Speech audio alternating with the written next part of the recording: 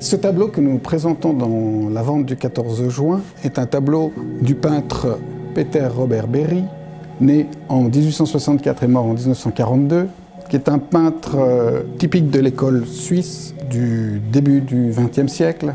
Il avait pour amis Segantini, euh, Giovanni Giacometti, euh, il avait même rencontré Audelaire.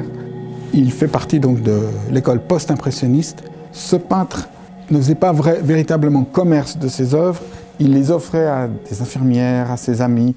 Par exemple, à l'arrière de ce tableau, nous avons retrouvé une lettre datée du 4 août 1918, disant qu'il a offert ce tableau à son ami d'enfance, le docteur La Nika, avec qui il a passé ses journées sur les bancs d'école. Il dit également dans cette lettre euh, qu'il est assez fier de ce tableau. Donc pour lui, ce tableau est quand même une œuvre réussie.